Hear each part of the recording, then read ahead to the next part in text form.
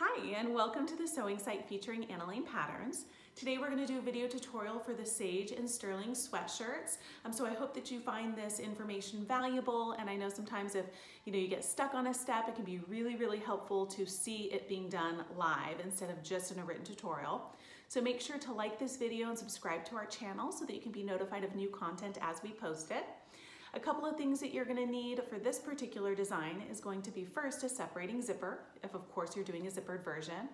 I would recommend that you purchase the longest available zipper that you can find and we will go through in this tutorial how you can customize the fit and shorten it. Uh, I always like to have several of them handy in some primary colors so that I can customize the fit for either kids wear or adult wear and not have to worry about running out last minute to get a longer zipper.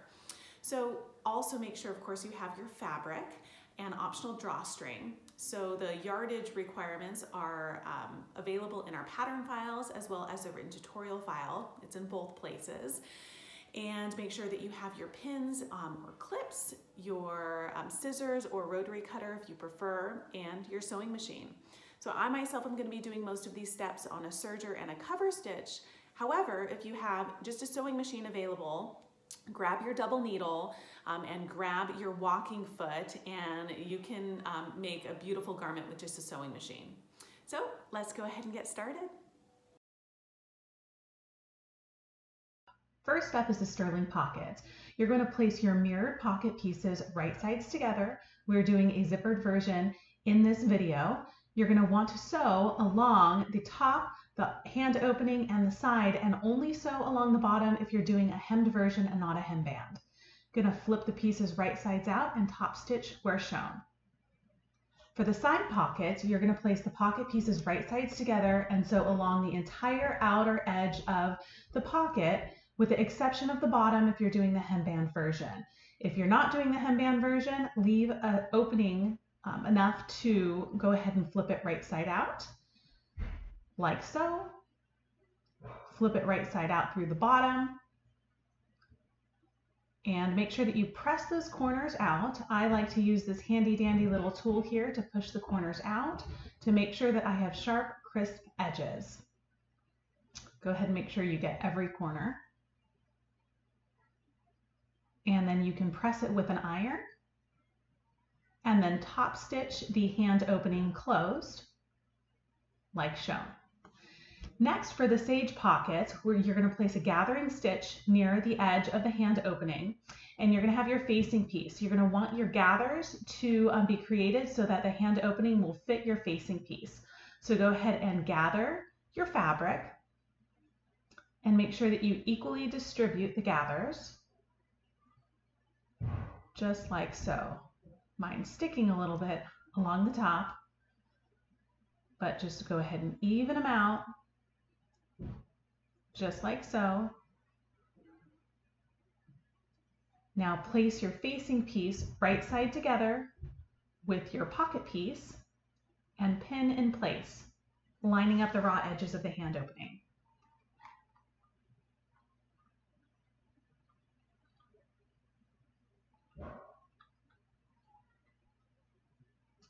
Pin this edge Ideally, you're going to want to have the top edge of the pattern piece straight across and the side edge of the pocket piece, excuse me, straight up and down. And then go ahead and just place additional pins to make sure that your facing does not shift. Just like that. And now sew the facing to the hand opening. The piece will look like this. And then you're going to go ahead and flip that will first remove your gathering stitch. Just go ahead and pull them out. And then flip your facing piece to the back of the pocket.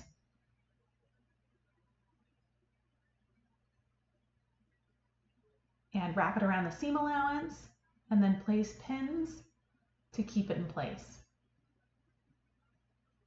You should have a little bit of overage on the back of the facing piece after you cover your seam.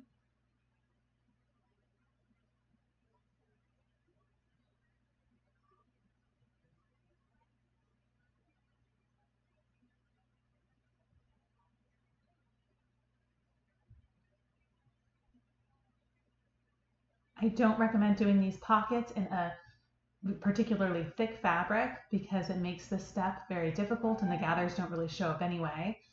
And on mine, it looks like my gathers are flattening out a little bit, but that's all right. And go ahead and top stitch that facing that's now binding down and it will look like this. Now, when you attach this, you're going to be folding this um, the top edge down a quarter of an inch, pin in place, and then fold the side a quarter of an inch, wrong sides together, and pin in place. And then you will top stitch the pocket onto the sweatshirt. You will also need to do the bottom edge if you are doing a hem version. So now for the Sage side pockets, you're going to notice that the piece is not symmetrical. There is a marker to notate where the side pocket is. So you're going to place mirrored pieces right sides together. You're going to sew all along the outer edge, leaving a one to two inch gap at the bottom in order to um, flip it right side out. Again, using my handy dandy little tool here, I'm going to flip this right side out.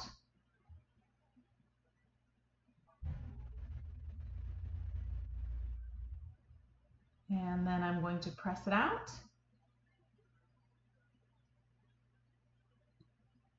After you press this out, it's a good idea to use a iron in order to press it flat so that your seams are a lot crisper. Makes the top stitching a lot easier in future steps. Oh, this is giving me a little bit of trouble, but I will prevail. And so now for the opening and the gap, you're going to fold it in, right sides together, tuck that seam allowance in, and then pin it in place. And that will be closed during the top stitching step when we actually put this onto our garment. The application of this side pocket on the Sage version is going to come a little bit later because you need the side seam sewn in order to place this pocket.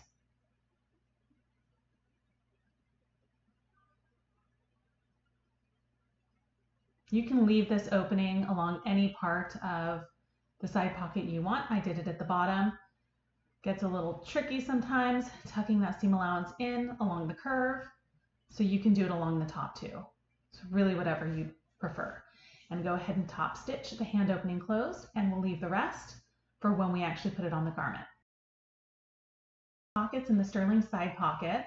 Um, right here is the kangaroo pocket. You're going to top stitch it along the top and along the side, only along the bottom as well if you're doing a standard hem version. On the left here, this is the side pocket, about a half inch from the side seam. You're going to top stitch along the side and the top and the middle seams. Attaching the sleeves, now, when you're looking at your sleeve piece, it's important to notate that the shorter curve is for the front and the longer curve is for the back. So we're going to place our back bodice right side up. And this is indicated with double notches on the back sleeve on both the sleeve piece and the back bodice. So you're going to go ahead and place the sleeve right side together with the back, line up that sleeve curve with the double notches, and go ahead and sew that seam. Now that that's sewn, you're going to go ahead and fold that sleeve piece out and you're going to repeat with the second sleeve. Place the sleeve right side together with the back bodice.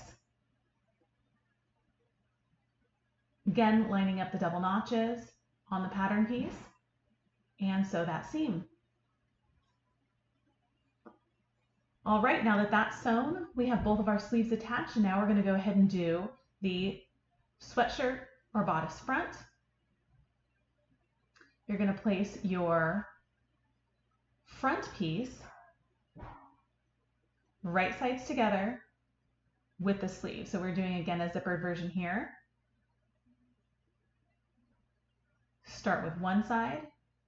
Go ahead and sew that in place. Repeat it with the second side as shown. And then place your garment right sides together with the front and back sweatshirts on top of one another. And from here, we're going to go ahead and straighten things out. Line up our side seams from the sleeve and all the way down to the sweatshirt bottom. And now we're going to sew the side seam. And sewing the side seam on both sides, now what you have looks like this.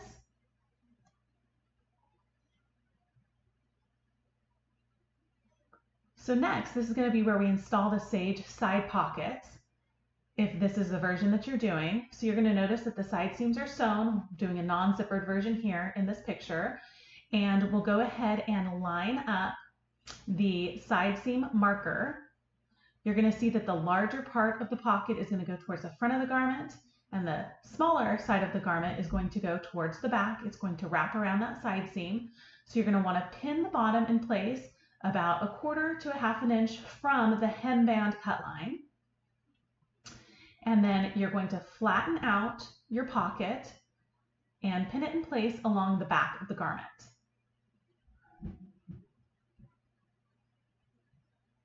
So these pockets are intended to gape a bit. And so you can either sew it flat to your garment or you can tilt it up so that it creates a gape as intended in the design. So in order to do this, you can just tilt that front point up as much as you would like to create your preferred look. I'm going to do it about one inch up and about an inch or so in. And let's go ahead and see how that looks. And it takes a little bit of eyeballing it. And then go ahead and flatten out that bottom curve and pin it in place. And that's what the pocket is going to look like. So now you have to repeat the process with the other side.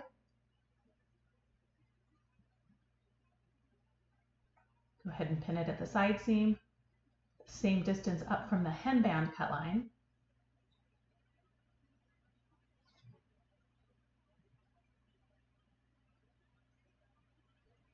You're going to make sure that you're mirroring the first side that you did. Typically takes me a couple of adjustments to make sure that's exactly where it needs to be to be symmetrical.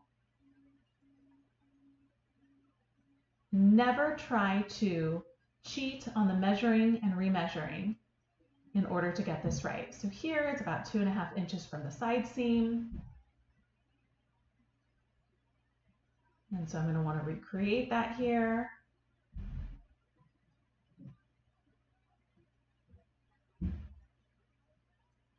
About six inches from the bottom. That looks like it may be about right.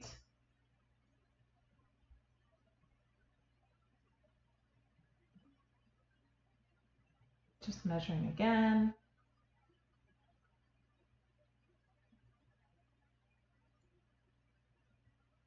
Not quite sure if this placement is right. It doesn't look like the pocket's gaping quite as much, but let me pin it in place and take a look at it again.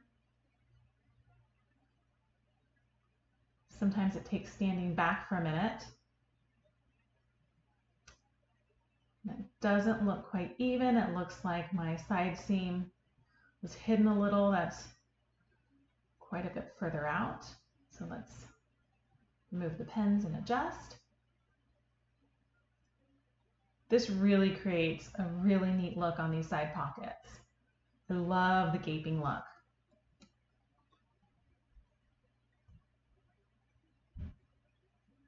All right, let's try it again. Okay, that looks about two and a half inches. That looks, now that looks like it's about right.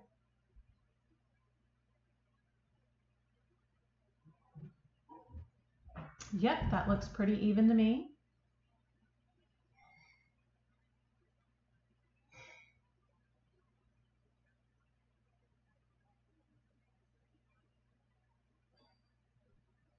Half inches.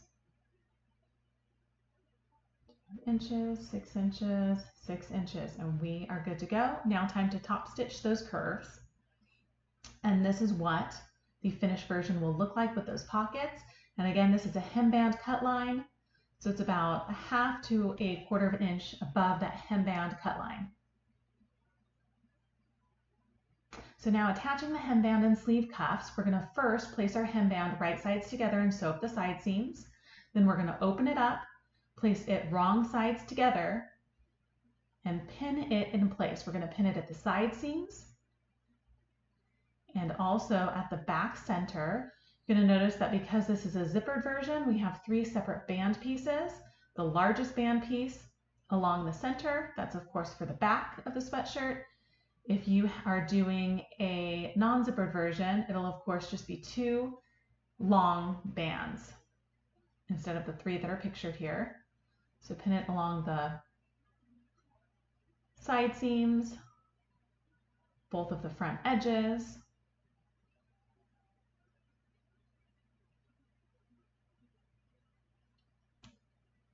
and then the back center.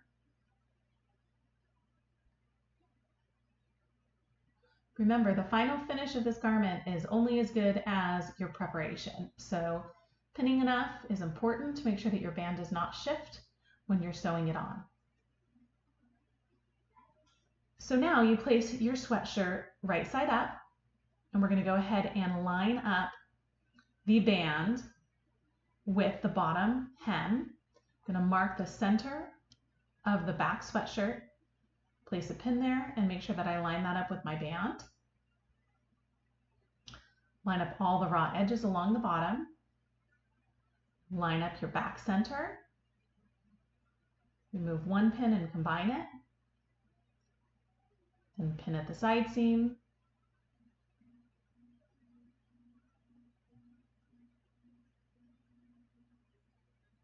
Like so. the front edge on the zippered version.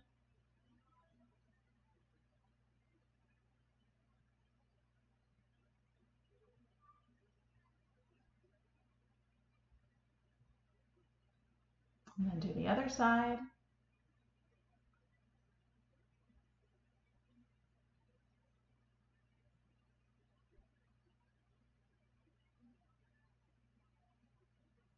And then all the layers on the front edge. Place additional pins as needed. I prefer using pins for my hems because I tend to sew over them. I know a lot of people prefer not to do that. It works well for me. Clips, once I remove the clips, as I'm sewing, sometimes things shift and that drives me a little batty. So this hemband is going to stretch to fit the sweatshirt bottom. We will stretch it to fit as we sew.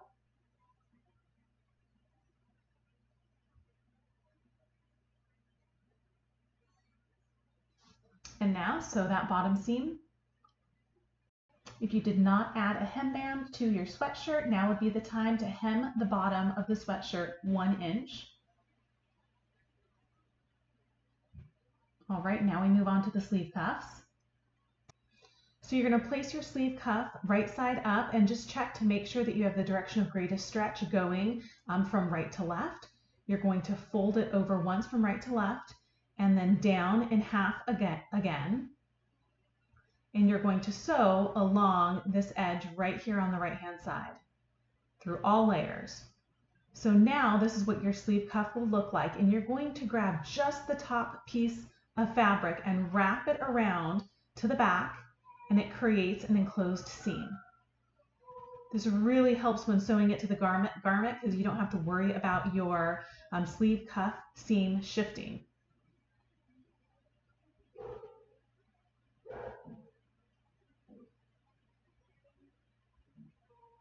So now we're going to attach the sleeve cuff and we're going to place it inside the sleeve. So our sleeve is going to be inside out. And our sleeve cuff, we're going to place a pin on the halfway mark across from the side seam. And we're going to line that up with the side seam on the sleeve and the halfway mark on the sleeve opening. Going to insert the cuff into the sleeve end so that right sides are together and we're going to pin it at the halfway mark and at the side seam. I prefer my pins to be on the inside of the garment because the sleeve end itself is going to be against the feed dogs.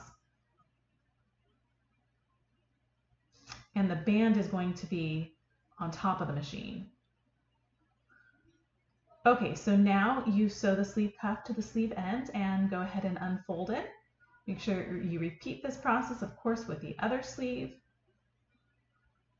And the result is a beautifully attached sleeve cuff that has not shifted while sewn.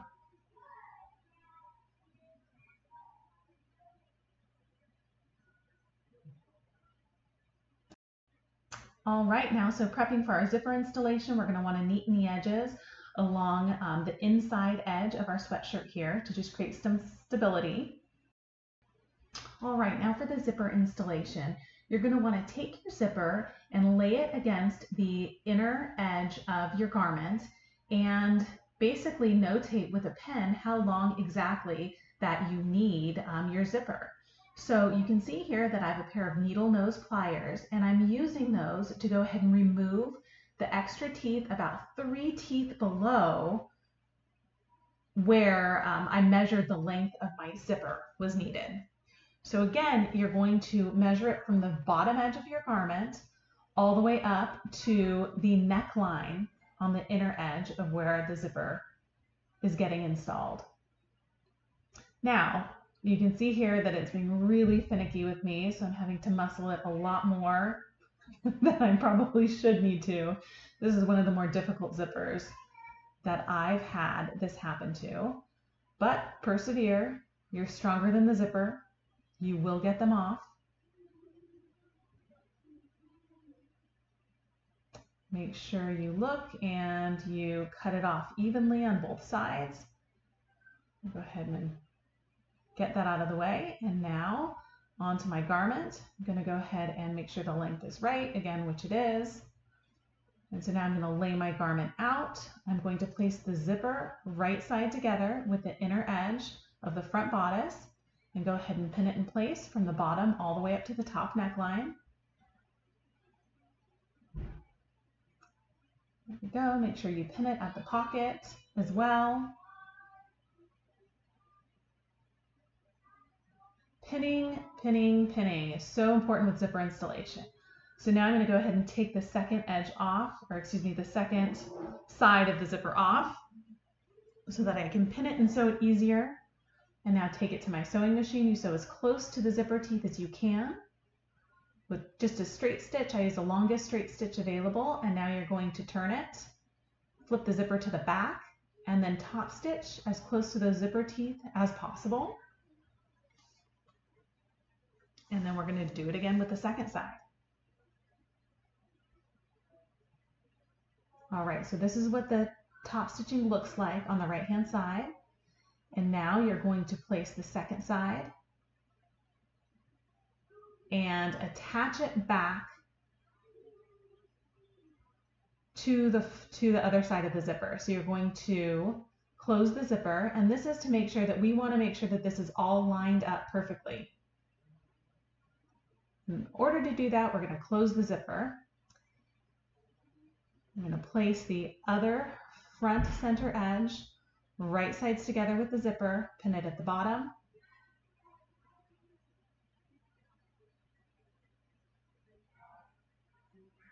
Line up the hemband. Make sure that it's even on both sides. It's very easy to have this fabric shift when you sew it, so it's really important that you measure, remeasure, verify, re-verify because you will be so happy with the final result if you do. So here I'm making sure that my pocket edges are lined up. I'm going to double check this again.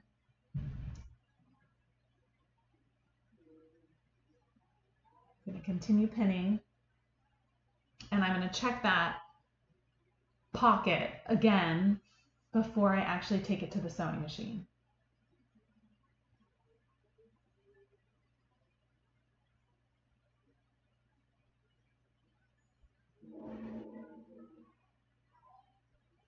Zipper installations aren't difficult. They just take some patience, especially when sewing a thick fabric like I'm sewing right now.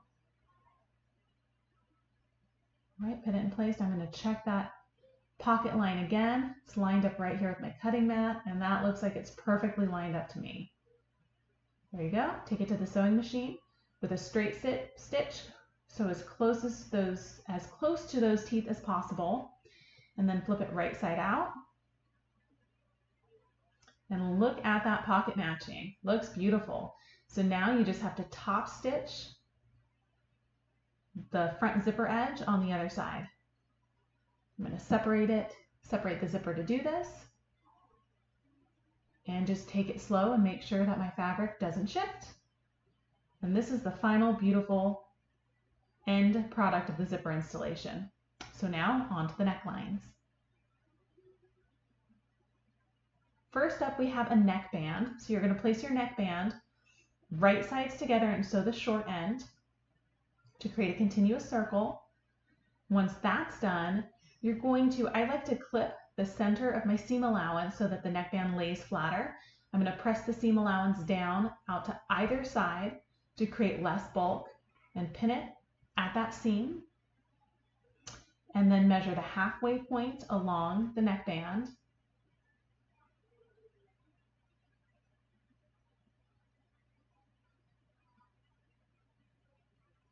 and place a pin to mark it.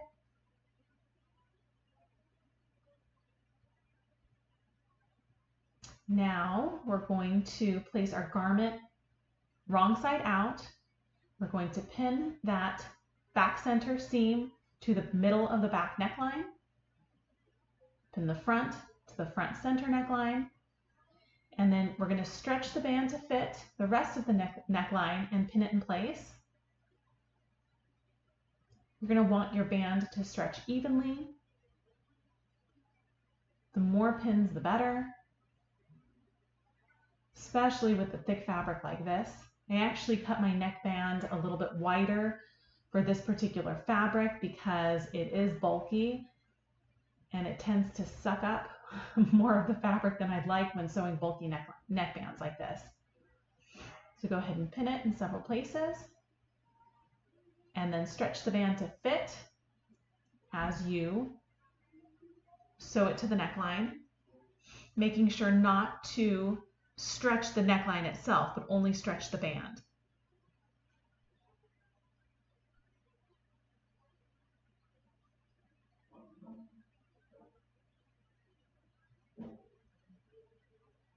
All right, last pin here. And go ahead and sew those together. So now you flip your neckband out and you top stitch the seam allowance down for comfort. Now for the hood. So there are a couple versions of the hood available. There's an overlapping version and there's a non-overlapping version. There's optional drawstring um, buttonholes or grommets that's indicated by a plus on plus sign on the pattern piece. So for this version, um, this is a non-overlap version. You're going to place the hood pieces right sides together and just sew along the head curve. Now that that's done, we're going to go ahead and with a 3 quarter of an inch seam allowance, we're going to fold our front hood opening wrong sides together, 3 quarters of an inch, and pin it. I'm using my sewing gauge here to make sure that my hem allowance is consistent along the entire front of the hood. Forgive me, my sewing gauge, the little purple slider, is very loose, so it keeps moving on me here, but it's three quarters of an inch.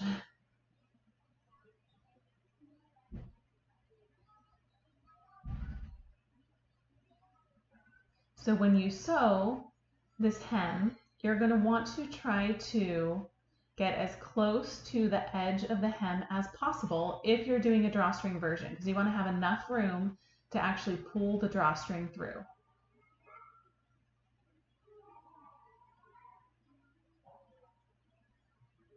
Before you do this hem, make sure that you are installing your buttonhole or your grommet opening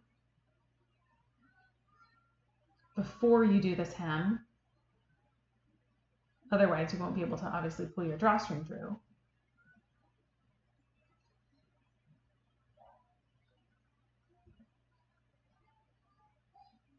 There's also a center front marker on the pattern piece, a notch that's indicated along the neckline that you can use if doing an overlap version. That will be where both pieces overlap. We're not going to be overlapping here, but that's something important to note. And then one more pen. And go ahead and take this to your machine and top stitch it. And this is what the hood looks like. So now I'm going to go ahead and grab my garment that is wrong side out and I'm going to turn my hood piece upside down. I'm going to line up the back center of the hood with the back center of the neckline and pin it in place. Then I'm going to go ahead and place the hood inside the garment and line up the front edge of the hood with the front edge of my zipper. Make sure that you line this up really well. You don't want the zipper to be poking out of the neckline. Make sure that you're covering it well enough. Even have the hood hang over just an eighth of an inch or so slightly to just make sure that the zipper doesn't poke out and then go ahead and line up the rest of the neckline.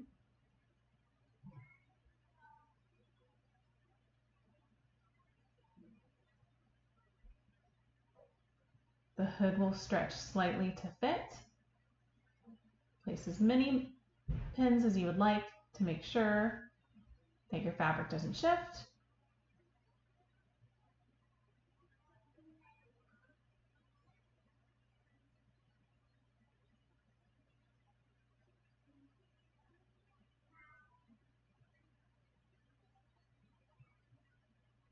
and then sew them at the neckline.